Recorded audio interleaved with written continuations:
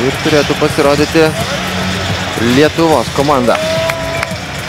Tai taip, Lietuvos trispalvė ir Lietuvos krepšininkai. Įžygioja su Lietuvos trispalvėmis ant pečių.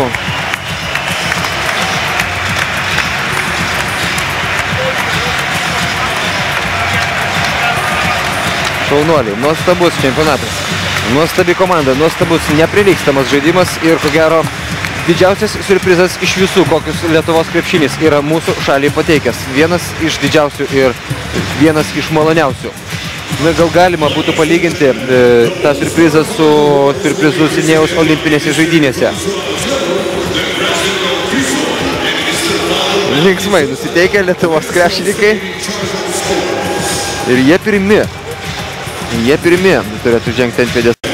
Bronzos medalius įteikia tas pats klubo prezidentas Ivanas Mainini ir taip pat Turkijos ministras pirmininkas Recepas Taipas Erdoganas. Lietuva žengia ant bronzinio pėdestalo. Tai yra fantastika. Tai yra neįtikėtina ir nuostabu.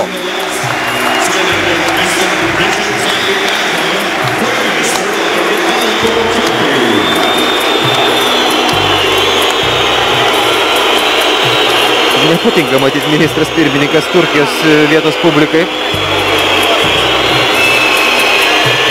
Dar kartą, 12 šitų bronzinių krepšininkų. Rinaldas Eibutis, Mantas Kalnietis, Jonas Mačiulis, Martynas Pocius, Robertas Jevtokas, Martynas Gesevičius, Tomas Delninkaitis, Simas Jasaitis, Linas Kleiza, Tadas Klimavičius, Paulius Jankūnas,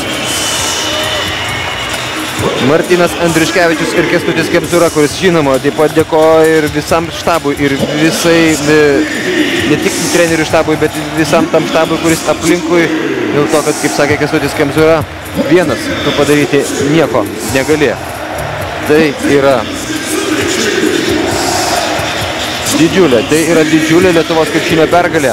O mes juk atvažiavome čia, apšilti kojas ir nepadaryti nereikalingos pertraukos prieš Europos krepšinio čempionatą, kuris kitais metais vyks Lietuvoje. Kitais metais niekur nereikės važiuoti. Nors gali būti, kad bilietus į krepšinio rungtynės bus gauti įmanoma dar sunkiau negu svečiose šalise. Bet kita vasara mūsų laukia dideli ir įdomus įvykiai. Ir kas galėjo pagalvoti, kad jie bus tokie dideli, tokie įspūdingi ir tokie nuostabus čia, Turkijoje, pasaulio krepšinio čempionate. Viena iš jaunesnių komandų šiuose pirminybėse su jaunu treneriu.